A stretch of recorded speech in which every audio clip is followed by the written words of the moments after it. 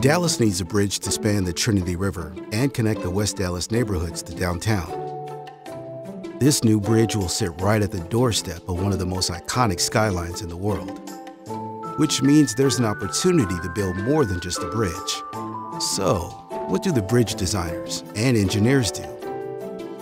Engineer a work of art